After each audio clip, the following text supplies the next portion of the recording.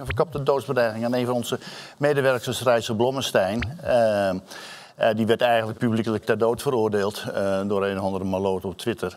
En ik kan het niet, al, niet loskoppelen van een, van een bericht, uh, een column gisteren in de Volkskrant... die eigenlijk al een beetje een voorzet gaf hè, om, haar, om haar af te branden.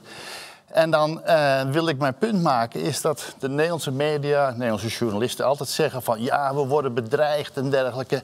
En het werken wordt ons heel erg moeilijk gemaakt. Maar nu wil ik eens een keer omdraaien. Het is juist de Volkskrant, NRC, Trouw en dergelijke...